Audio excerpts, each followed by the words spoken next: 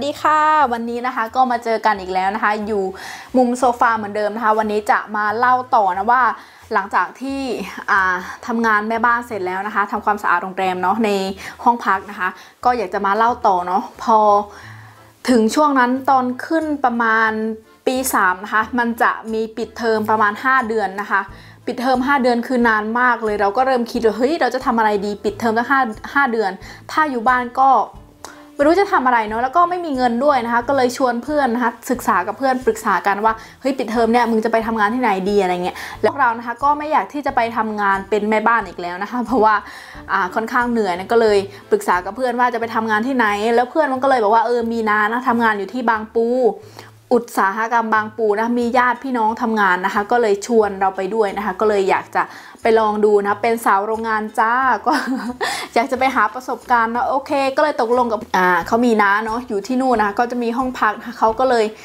หาห้องให้หาไปถามว่าเออมีห้องว่างไหมอะไรเงี้ยจะได้อยู่ใกล้ๆกันนะคะ ก็เลยตัดสินใจไปนะก็ไปจ่ายค่าห้องนะคะเดือนละประมาณ 2,000 กว่าบาทนะคะ ก็อยู่ด้วยกัน 2 คนก็หารกันนะตกเดือนนึงก็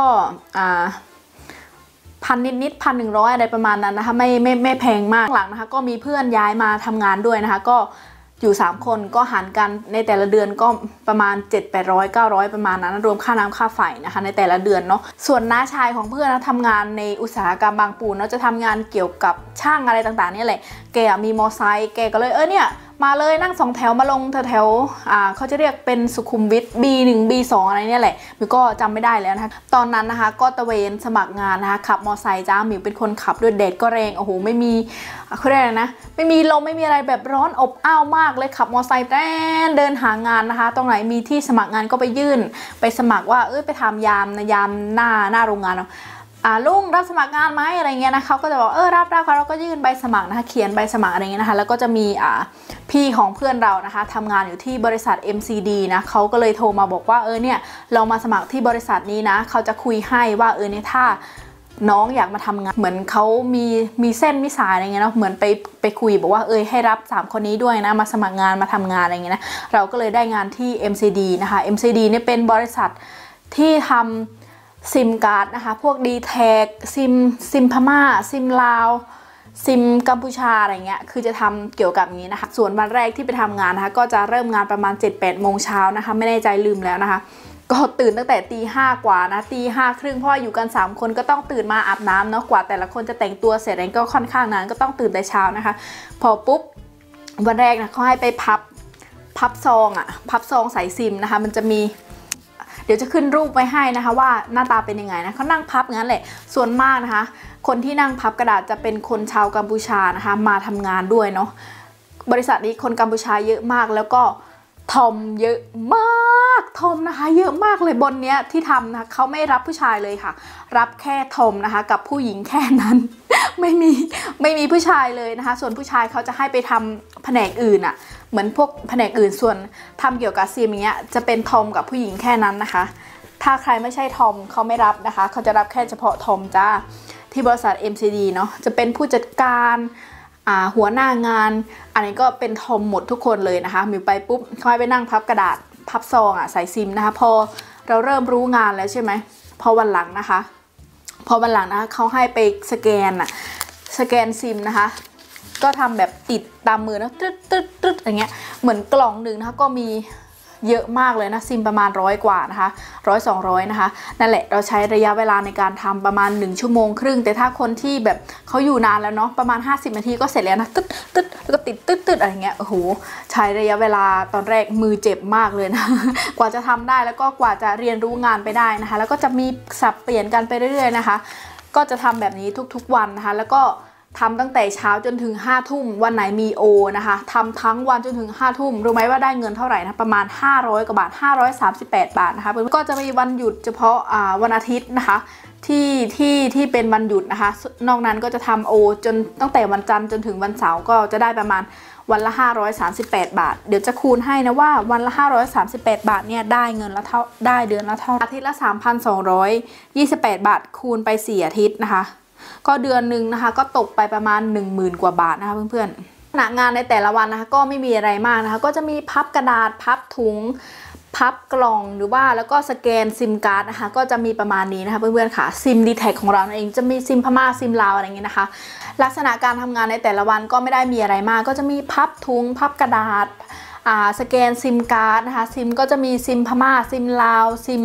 dtac อะไรประมาณนี้นะคะ ไม่ได้มีอะไรมากแต่เหนื่อยมากๆเลยนะคะ ปกติทำงานก็จะเลิก6โมงเย็นแต่ถ้าวันไหนมีโอนะคะเขาก็จะมาแจ้งว่าเออเนี่ยมีโอนะวันนี้ก็จะเลิกประมาณ5ทุ่มนะคะ ก็คือทั้งวันถ้ามีโอก็ได้เงินประมาณวันละ 538 บาท แต่ถ้าวันปกติก็คือวันละ 300กว่าบาทมาก คนที่ทำงานก็จะเป็นทอมนะคะไม่มีผู้ชายเลยนะที่ทำงานในแผนกนี้นะคะ เพราะว่าเขาไม่รับนะคะ ถ้าใครเป็นผู้ชายไปสมัครเขาไม่รับนะคะถ้าถ้าถ้าอยากทำงานเกี่ยวกับซิมนะคะ เขาจะรับเฉพาะทอมนะคะช่วงระยะเวลา 2 เดือนที่เราทำงานที่ MCD นะคะ ก็มีทอมนะคะมาชอบเราทอมนี้นะคะมันมีเมียแล้วนะคะ อายุประมาณ 30 กว่านี่แหละแต่ทอมอะยังเด็กอยู่เลยประมาณ19 นะคะ ประมาณ 19 18 19นี่แหละมันนะคะมาชอบเรา มันก็เลยมาขอเบอร์โทรนะคะ มาขอเบอร์โทรจากเพื่อนบอกว่าเออเนี่ยชอบเพื่อนเธอนะอะไรเงี้ยขอเบอร์ได้ไหมมันก็ยิ้มให้ทุกวันน้องมิวก็เลยเฮ้ยไอเนี้ยมันเป็นอะไร มันแอบยิ้มแอบส่งยิ้มแอบส่งตาหวานอะไรเงี้ยให้เราตลอดเลยมันแอบชอบเราหรือเปล่าอะไรเงี้ยแล้วเพื่อนมันก็เลยมาบอกว่าเออมันชอบมึงจริง ๆ ด้วยอะไรเงี้ยมันขอเบอร์แล้วกูให้ไปแล้วอะไรก็เลยแอดไลน์มาคุยทักมาเออทำอะไรตัวเองอะไรเงี้ยชอบเรียกตัวเองตัวเองอะไรนะพวกทอมนะเขาจะชอบเรียกว่าตัวเองตัวเองเขาอะอะไรเงี้ยนะ ตลกมากเลย แล้วพอหลังจากนั้นมิวก็คุยเรื่อยๆนะ คือทักมาแล้วก็คุยอะไรเงี้ย แล้วเมียมันรู้นะคะ เมียมันนะคะก็กลับมาทำงานเหมือนเดิมนะคะ ปกติแล้วเมียก็ไม่ได้ทำงานอยู่บ้านอย่างเงี้ยเนาะ แล้วเมียนะคะก็กลับมาทำงานที่ MCD เหมือนเดิมนะคะ แล้วก็มาแสดงตัวว่าเนี่ยฉันอะเป็นเมียมันนะ เป็นเป็นเมียไอทอมนี่นะอะไรเงี้ยประมาณนั้นนะคะ เราก็รู้แล้วนะเฮ้ย แล้วก็มาบอกเราว่าไม่มีเมียเลิกกับเมียแล้วอะไรประมาณนั้นนะคะ แล้วทำงานไปสักพักประมาณ 2 เดือนกว่าเนาะแล้วผู้จัดการนะคะ ผู้จัดการของ MCD ในในแผนกของซิมนะคะ เรียกเรามาเขาเชื่ออ่าเพื่อนของเขาอยู่แล้วนะคะ เพราะว่าเราไม่ได้ทำอะไรผิดเรื่องการงานเราก็ไม่ได้ผิดอะไรนะคะ แล้วเขาก็เลยบอกว่าตัดปัญหานะ พี่จะไล่น้องออกหนูเฮ้ยไล่กูออกเพราะว่าอะไร เพราะว่ากูไม่ได้ผิดอะไรเลยนะ กูไม่ได้ทำอะไรผิดเลยงานการ กูก็มาตรงเวลาผิด เพราะว่าที่อีทอมเนี่ยมาจีบเราตัดปัญหาก็เลยไล่เราออกนะคะ หลังจากนั้น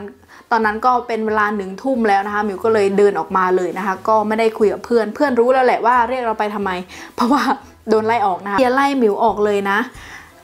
เขาไม่ได้ทำอะไรผิดผมอะผิดเองอะไรเงี้ยนะคะ มันก็พูดแก้ตัวให้แล้วผู้จัดการนะคะก็เลยบอกว่าตัดปัญหานะ คือ น้องทำให้ครอบครัวเขาทะเลาะกัน ตัดปัญหาพี่จะไล่น้องออกตกลงสรุปกูต้องออก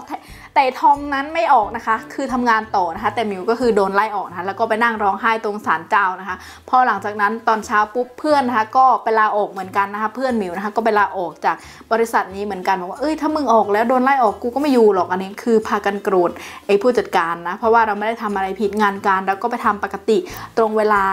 อะไรเงี้ยแค่ไอ้ทอมมาจีบนะมาชอบเรา แล้วก็ทักไลน์มาอะไรเงี้ยนะคะมาคุยกับเราเนี่ยแล้วเมียเขารู้นะคะก็เลยไปฟ้องผู้จัดการบอกว่าเนี่ย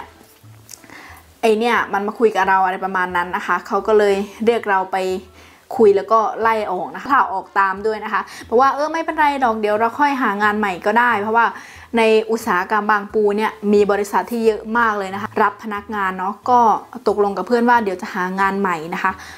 แล้วหลังจากนั้นนะคะมิวกับเพื่อนนะคะ ก็ได้ไปสมัครที่บริษัทอะไรก็รอติดตามนะคะ ก็คลิปวิดีโอนี้นะคะ ก็อยากจะมาเล่าให้เพื่อนได้ฟังคลิปวิดีโอนี้นะคะ ก็ต้องขอตัวลาไปแล้วนะคะ เจอกันใหม่คลิปวิดีโอหน้านะคะ เดี๋ยวจะมาเล่าต่อนะคะ ว่าหลังจากที่เราโดนไล่ออกแล้วนะคะ เราไปทำงานอะไรต่อนะคะก็ยังมีเวลาเหลืออีกประมาณ 2 เดือนกว่าเนาะเราจะกลับบ้านไปมันก็กระเทินแล้วนะคะ ก็เลยสรุปไปหางานต่อนะคะ ไปหางานทำที่บริษัทอะไรเดี๋ยวจะมาเล่าต่อนะคะ ก็ การทำงานในครั้งนี้นะคะ ก็สอนอะไรหลาย ๆ อย่างนะคะ เกี่ยวกับการทำงานเกี่ยวกับคนผู้คนเยอะแยะมากมายเลยนะคะ หวังว่าเพื่อนๆจะชอบคลิปวิดีโอนี้นะคะ เดี๋ยวมาเจอกันใหม่คลิปวิดีโอหน้านะคะ ไปแล้วนะจ๊ะบ๊ายบายจ้า